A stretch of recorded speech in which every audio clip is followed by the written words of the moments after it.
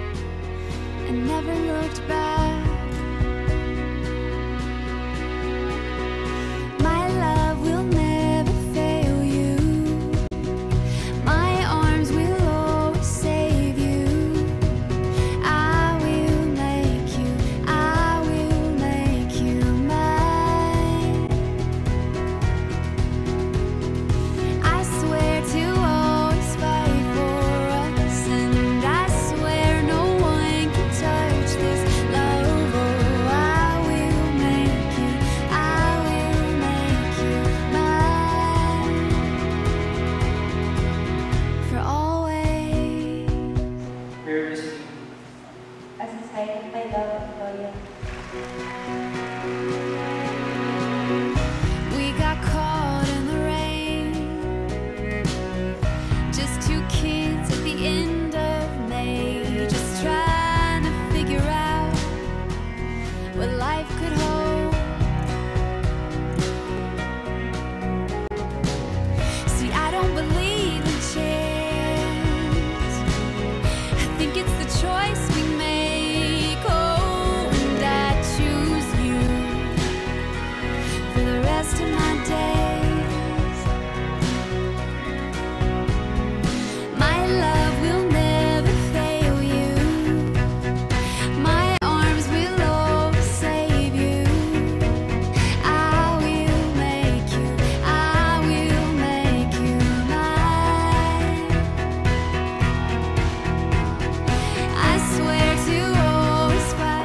siguro yung time para sa sarili. Yun lang. Congrats.